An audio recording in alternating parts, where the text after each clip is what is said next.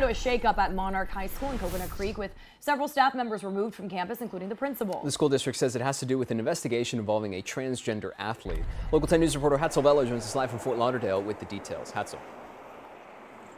So, Gio, here in this morning uh, from the school district, we got the first reaction from the superintendent. But before we show you what he had to say, let's take you to some live pictures at Monarch High School in Coconut Creek, where you have see where you can see clearly students have decided to walk out, likely in protest of the decision made here at the school district. Again, as I mentioned before, for the first time we hear from the superintendent regarding this investigation. Says the staff, including the principal and assistant principal, were removed pending this investigation. Says the removal is not not an indication that they're being disciplined. It just means, he says, that there's a fair investigation underway, and they're telling us, he's telling us, that they're not guilty of anything. Again, live pictures of Monarch High School as hundreds of students are outside the school, have decided to leave the classroom in protest of this decision. We're also learning it was a constituent who notified the superintendent of this issue last week.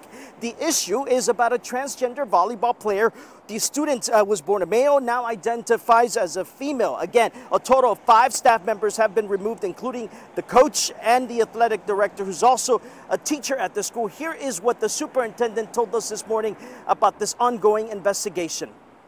Um, I can't speak much to uh, the investigation.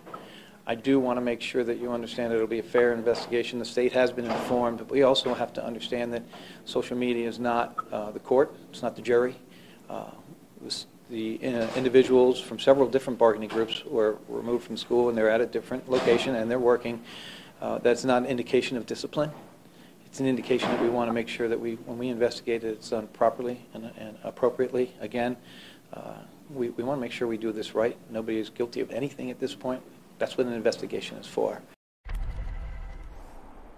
And we want to say on these live pictures out of Monarch High School in Coconut Creek, where again you can see students here outside of the school. They have left their classroom in protest of what's happening at the school. Remember, this was just announced yesterday, so we're starting to see reaction. We have seen parents react, we have seen students. Now you're seeing it for yourself, these live pictures from Monarch High School. We asked the superintendent, by the way, if the students will be able to play volleyball next year. He didn't really have an answer. Tells us they're likely going to have to look at their procedures and probably make some changes. For now, reporting live, I'm Hatzel Vela. I'll send it back to you.